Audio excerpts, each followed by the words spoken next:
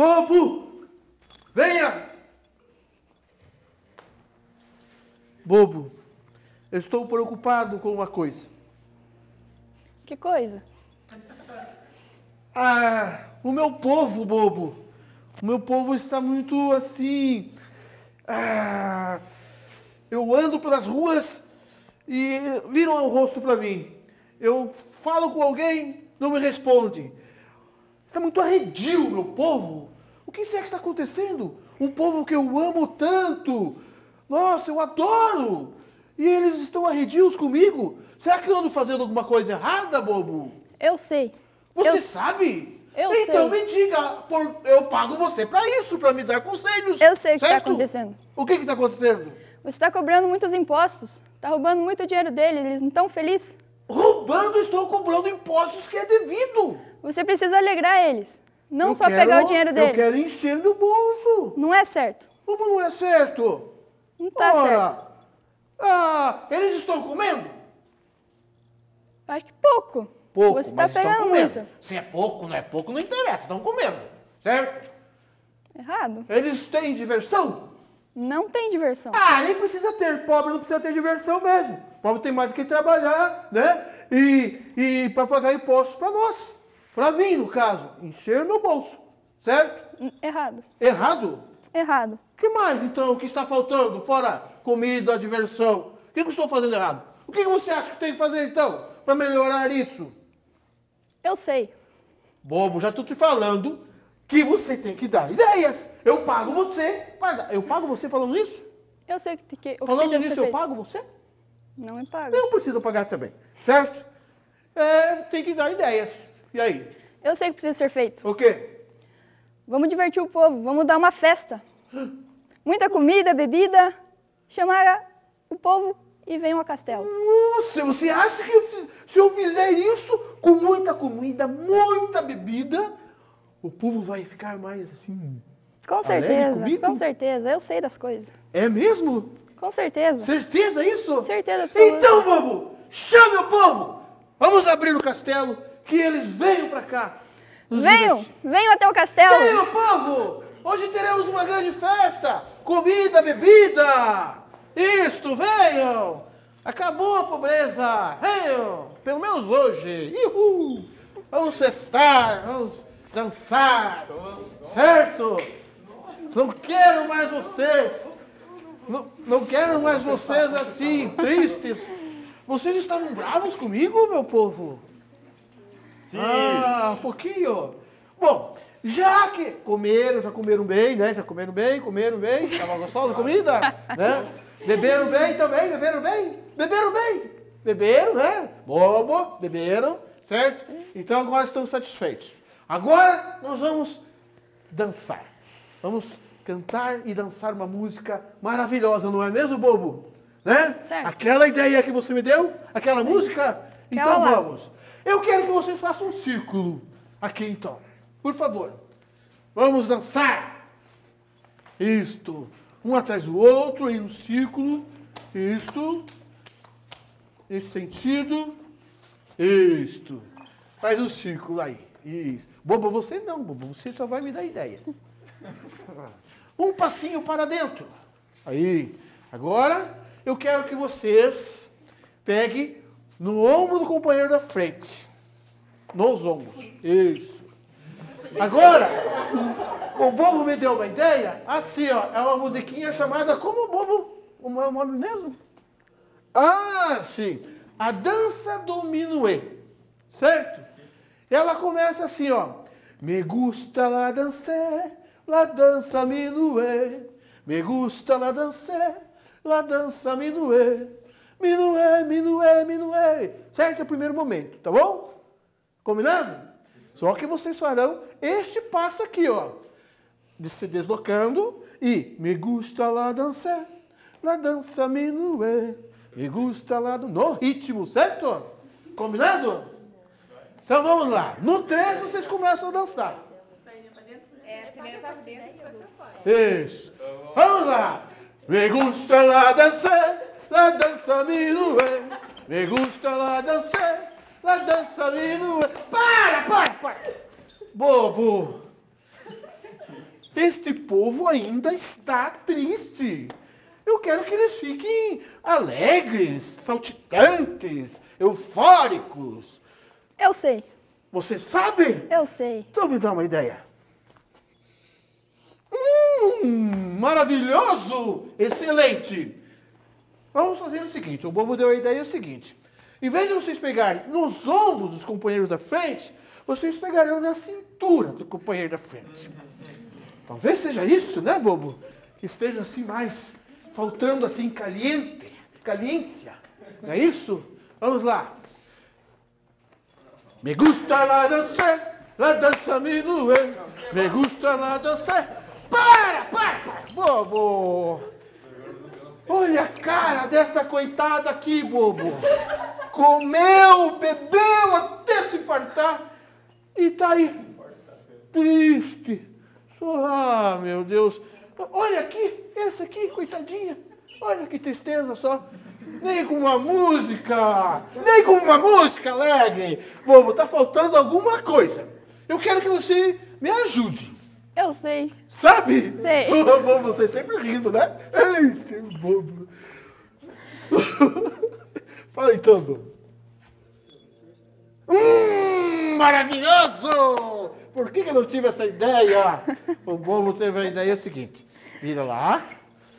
O Bobo falou o seguinte, ó. Em vez de você pegar na cintura do companheiro da frente, você pega na cintura do outro da frente. Isso, aqui, ó. Dá um passinho pra, dá um passinho pra dentro e pega no outro da frente. Na cintura. Na cintura. Isso. Pegar. Boa ideia, bobo, maravilhoso. Vai, pega na cintura. Vai, gente. Põe o bumbum aí. Vai. Me gusta la dança, la dança me doe. Me gusta la dança. Para, para. Ah, bobo. Ah, bobo. Eu não consigo fazer essa criatura aqui rir. Olha cara. Olha aí, bobo. Tem que rir. Olha essa criatura aqui que não ri mais. Eu não sabe o que ela ri. Ah, não sei mais. Viu? Bom, eu preciso de outra ideia. Aquela ideia assim supimpa. Isso. Eu sei. Tem uma ideia? Eu sei. Então, eu gostaria de saber, por favor, alimente os meus ouvidos. Hum, interessante. Eu sei. Mas é desafiador. Não é desafiador? Interessante e desafiador. Vamos tentar. Eu gosto de desafios. sugerir o seguinte. Em vez de vocês pegarem na cintura do companheiro da frente, do próximo, pega no outro, no segundo. Essa foi a ideia. Um passinho para dentro. Pega lá nesse daqui. Conta um. Você ia pegar no segundo, né? Pega no terceiro. Vai. Não tem como, velho. No terceiro, essa ideia. Ai, o bumbum, por que tirar o bumbum daí? Oxe. Pra que tirar o bumbum daí? Não precisa? Vai, gente, encosta aí. Você não alcança. Atenção. Me gusta la dança, la dança me doe. Me gusta la dança, la dança me doe. Hum, bobo. Fica assim, fica assim. O bobo falou que tá bom. Fica assim, vai. Nessa posição. Agora, fica assim. Não sai dessa posi- posição. O bobo vai. Bobo, falta melhorar alguma coisa. Eu já sei. Não preciso de você agora. Eu tenho uma ideia. Agora, todos vão sentar. Vão sentando nas pernas do companheiro de trás. Vai. Vão sentando. Vão sentando. Senta nas pernas. Sentados, sentados vocês irão dançar. Atenção, sentados irão dançar. Vai! Me gusta la dança, vai! Me gusta la dança, vai! Me gusta la! Muito bem, Lobo! Parabéns! Obrigado, meu povo! Felizes, saltitantes, alegres! Até! Após essa atividade, é importante nós tentarmos aí refletir sobre isso, tá? Que elemento foi utilizado aqui, fora o jogo, fora a brincadeira, conforme nós falamos da aula anterior, né, o momento anterior? A música, a dança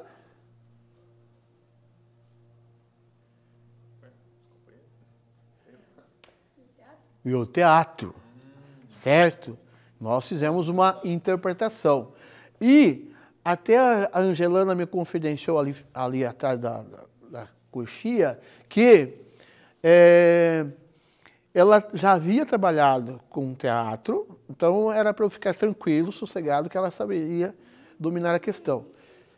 Ó, o objetivo, objetivo, quando eu faço esse trabalho com os alunos, é normalmente não pegar a pessoa que trabalha com isso, que já tem uma prática, certo? Por quê?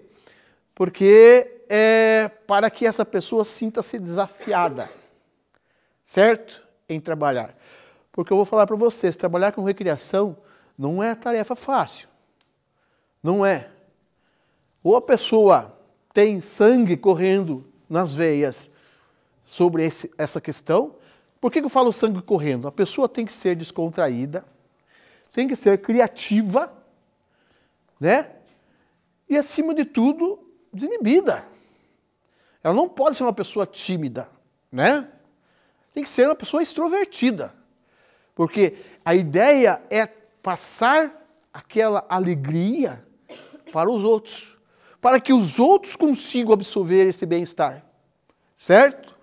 Eu muitas vezes é, não sei se eu já falei a vocês, eu chego, eu sou um ser humano, né? Tenho meus problemas aí fora, é como todo qualquer ser humano. E às vezes eu chego no carro, eu saio do carro eu falo assim, ó, eu tenho aula de recreação agora, eu não posso chegar abalado. Eu não posso passar para o meu povo, para os meus alunos, que eu estou abalado. Então, logicamente, às vezes eu não consigo, porque eu sou um ser humano. Né? E a pessoa pode notar que às vezes, de repente, estou meio triste. Mas eu, não, eu tenho que evitar essa tristeza, certo? Eu não posso passar. E é isso que é, é o fundamento do Criador. É estar, mostrar para as pessoas. Você vai dizer assim, ah, professor, mas então é uma falsidade, a pessoa é sempre falsa. Não, não, porque ela já tem isso nela. Eu falo para vocês que são os, os descaminhos que a vida proporciona a gente, que não dá para manter a alegria sem 100%, 24 horas por dia, né? Aí eu estaria mentindo, a pessoa seria hipócrita, né? Mas aqueles momentos alegres, você tem que mostrar às outras pessoas, certo? Que você é o cara mais feliz do mundo. Isso você tem que fazer, certo? E por isso que é difícil trabalhar com recreação. Entenderam? Tem que ter uma pessoa assim dinâmica, né? Vamos dizer, né? E eu quero que vocês, é, aqui, ó, por exemplo, é, se você for fazer uma pesquisa na escola, agora, hoje, um levantamento de quantos professores trabalham recreação na escola. Não fiz essa pesquisa ainda, mas é uma hipótese. Eu imagino que de, vamos supor, uma amostra aí de 10 professores, um, no máximo dois trabalham com recreação no seu dia a dia na escola. Mas eu estou falando recreação, não é trabalhar jogos e brincadeiras. Fazer uma coluninha ali, o aluno vai pegar a bola, pega atrás da bola, trabalhar isso que eu estou falando. Né? Mostrar esses elementos para a pessoa, trabalhar a dança, trabalhar é, é, o teatro, trabalhar a própria música, é, é improvisar, é, confe confeccionar instrumentos musicais para trabalhar a música na batida. Duas latas serão meu, minha bateria, certo? E um pedaço de madeira. Esses elementos que eu estou falando, certo? De 10 não chega a 2. Pode ter certeza. Quer dizer, certeza não, porque não foi feita a pesquisa ainda. Mas a hipótese nos leva a crer isso. Certo? Ok? Por quê? Porque é difícil trabalhar. Não é que o professor tem má vontade de trabalhar, é que ele não tem sangue nas veias. Esse perfil, quando falo sangue nas veias, é o perfil de recriador. Entendido? Ah, então por que, que você acha que nós aqui não vamos ser recriador? Cara, eu quero que todos saiam daqui e mudem esse contexto. Com certeza. Mas é difícil. ao primeiro obstáculo que você encontrar, você vai desistir e vai fazer o quê? Vai fazer o trivial, que é trabalhar com esporte, quer trabalhar lá com o ensino do esporte, quer trabalhar com jogos brincadeiras, e de vez em quando coloca uma dancinha que a escola precisa para a festa junina, não é isso? De vez em quando. Ou então a escola precisa lá para homenagem ao Dia das Mães, ah, vamos ensaiar uma coreografia lá, uma coisinha básica e tal, aquilo. Mas isso não pode ser só nesses momentos, nessas datas comemorativas. Tem que ser uma rotina do professor, certo? E como o nosso o conteúdo da educação física é um leque enorme, né? vocês sabem bem que são cinco os conteúdos estruturantes da educação física, que daí começa com as diretrizes né? estruturantes, que essas diretrizes também elas ramificam né? Dentro da, dessa questão do, corpo, da corporeidade, dentro dessa questão da manifestação da cultura, não é isso? É, é, é, é, é impossível trabalhar um ano todos esses elementos. E aí que eu falo, Trabalhe, então, no contraturno da escola, certo? Você vai poder ganhar com isso. Ganha com isso, não vai trabalhar de graça. Organiza um projeto bem legal, né? apresenta um núcleo de educação e esse projeto vai ser aceito. Mas esse projeto tem que estar embasado cientificamente. Tem que, por quê? Porque dá trabalho. Né? O cara tem que ler, tem que estudar para montar esse projeto. E apresenta. Ó, hoje, eu já falei a vocês, tem um egresso nosso que aceitou essa ideia há três anos atrás, e o ano passado, o ano atrasado, eu soube que ele está com um projeto numa cidade aqui vizinha nossa, certo? Questão de ética, não vou, não vou denominar a cidade, certo? E até preservá-lo. É, ele está com um projeto com a, com a luta, com lutas, judô, certo? E até hoje ele está desenvolvendo o projeto no contrato da escola, certo? E ele ganha para isso. Ele, além de ele estar tá estar trabalhando dia a dia na escola, no contraturno, segunda, quarta e sexta, ele vai. Se ele dá aula de manhã, à tarde ele vai trabalhar com o judô. Mas dentro do embasamento teórico, não é assim também. Ah, eu vou trabalhar na escola à tarde lá e tal. Vou trabalhar na recreação, leva três bolas lá e vai ficar lá. Né? Não, não é isso. Certo? Por isso que dá trabalho. Além de a pessoa, o educador, veja bem que eu falei educador, não falei profissional de educação física, né? O educador tem que ter o perfil para trabalhar com essa recreação. Eu sabia que eu ia trabalhar com recreação quando já antes de estar trabalhando, é antes de estar na graduação. Porque quando eu não estava na graduação, nas festas de aniversários dos conhecidos, dos amigos, das, eu era lá eu brincando com as crianças do, das pessoas. Eu não ficava me divertindo com os outros, eu preferia ficar brincando com as crianças. Então, às vezes, muitas vezes eu era convidado e sem ganhar por isso. Não sabia que dava para ganhar com isso. Não sabia que dava para ganhar dinheiro com isso. Uh, né? Se eu soubesse, né? É, então eu era convidado para as festas, mas não porque a pessoa gostava de mim, não, porque o Nick, é o, como é que é que eles me chamavam? O tio Nick. Né? O tio Nick vai vir brincar com vocês. E ali eu ficava e as mães, os pais ficavam sossegados. Hoje nós pagamos para isso, né? É, as pessoas recebem para isso, né? É um, um bom elemento para se trabalhar na, na educação física, animação, certo? Mas esse é um outro lado que eu não quero contar para vocês, porque a, a questão é lá no bacharelado, né? E aquela história mostra que nós temos atuação apenas na escola, certo? Mas só para vocês verem que a recreação é muito importante na vida do ser humano. Entendido? Virou até fonte de comércio, de comercialização na profissão, certo? Ok? Entenderam então? Aí, que elementos eu posso extrair dessa atividade é, em relação à educação para o lazer? dentro do é, visão do desenvolvimento humano.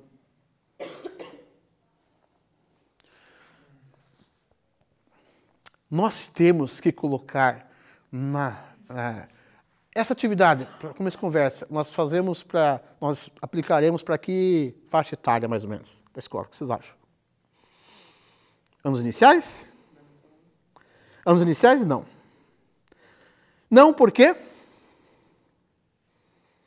por incrível que pareça, um motivo vai atrapalhar sua atividade. Sabe qual é? O contato físico. A criança dos anos iniciais, conforme as escolas, algumas escolas que eu vejo por aí, elas não trabalham a corporeidade com a criança. Ou seja, eu tenho o meu corpo, respeito a ele e ele tem seus limites. Respeito ao meu corpo, mas pode tocar no meu corpo. Não tem problema, pode tocar. Ó, estou respeitando o teu corpo. Não estou invadindo esse corpo. Certo? Entenderam? E é isso não é trabalhado na escola. Acho que não. Porque a maioria das crianças, quando eu vou trabalhar atividades recreativas na escola, aquela questão. Hoje ali, não tínhamos dois aqui, não vou citar nomes, mas pelo notei, né? Meu Deus do céu, não dá para fazer assim no cara. O cara não, não conseguia né, deixar o corpo assim, porque ele achava de repente que estava o quê? Sendo estupado? Né? Entendeu? Isso não é culpa dele, não é culpa dele, não é culpa dele. Isso é culpa lá de trás, que não teve essa educação que eu falei agora em relação ao corpo, ao respeito do corpo. Certo? Entendido? Então, esses elementos nós podemos colocar durante a aula. Certo? Ah, não estamos aqui só nos entretendo. Não, nós estamos educando. Não é isso? A questão da socialização. Nossa, eu não gosto dessa guria, mas não é que ele teve que abraçar a guria sem querer? No momento, por isso que eu fiz questão de surpresa para vocês. Porque se eu não falasse, se eu falasse alguma coisa, alguém já ia ficar perto da amiguinha, outro, isso vai acontecer na escola, fica perto do outro, para quê? Para pegar é, toque na menina no, no, no companheirinho, certo? Mas não nela, que ela brigou com ela esses dias, né? E não quer ver, né? Teve um conflito, né? Não. Agora ela chegou aqui, nossa, cara, vou ter que abraçar essa guria agora, meu Deus do céu, né? E acabou abraçando. Olha quantos elementos nós podemos extrair disso. Não só entretenimento. Entenderam? Combinado? E voltando, essa atividade aconselho a vocês fazerem um, um, essa ou uma parecida, uma similar, a partir aí do sétimo ano em diante. Menos que isso, você vai ter problemas com atividade. Não com os alunos, com atividade. Certo? Porque por falta dessa questão de consciência corporal. Ok? Thank you